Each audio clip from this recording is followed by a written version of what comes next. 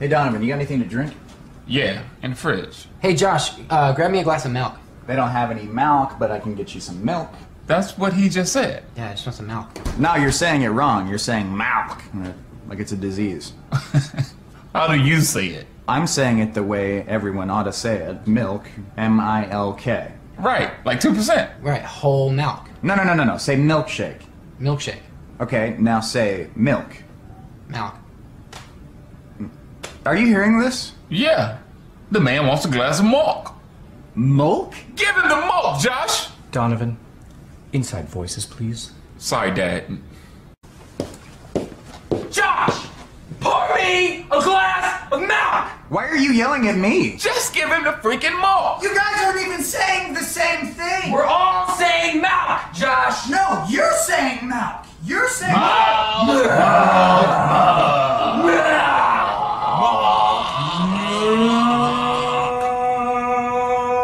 Shut up!